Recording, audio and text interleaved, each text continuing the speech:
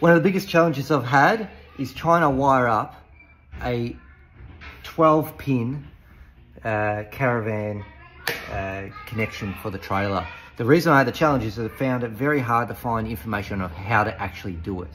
So we'll go through that in this video. So the first thing to mention when you're wiring up the additional five pins is the original seven pins are exactly as you've seen in the past. Um, you wire them up as per usual. Depending on the vehicle you have, you might have a plug and play, or it might be that you have to hardwire it up to the tail lights, whatever it might be. Um, but what we're really focusing on are these additional pins. So you do have uh, some uh, diagrams that are out on the internet around what you should be wiring for those pins. However, they're not entirely accurate for the for pins 8 to 12 um, because it does differ from each different manufacturer of trailer systems or caravan systems, whatever it might be. So first point of call is to actually navigate to your uh, your caravan supplier and see if they've got a wiring diagram for how to wire those five additional pins.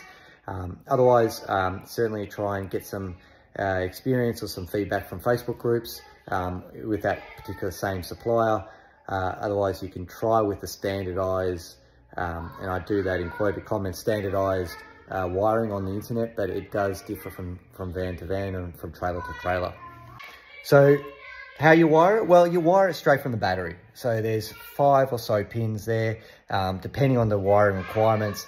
You're not pulling it from a tail light or anything like that. You need thicker gauge cables, uh, whether they be 8 org, Um, you can potentially get away with 10 org. It depends on the what you require on the other end is a power source, such as fridge, such as um, trailer brakes, what it might be uh, some variances there, charging batteries, for example. So what you really need to do is in your uh, car engine bay, you need to get a 12 volt power supply from the positive terminal and you run that all the way to the back of the car. Now I've got this going to a relay here. So the power is actually, on, oh sorry, that's a fuse, a relay here. So the power is actually live only when the car is on. And I've ran the switch that turns that relay on from my fuse box, fuse box over there. So I've run actually two cables.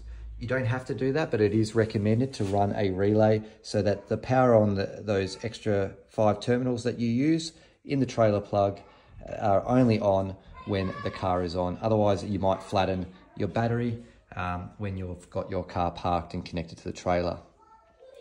Then it's also best practice to have a breaker or a relay.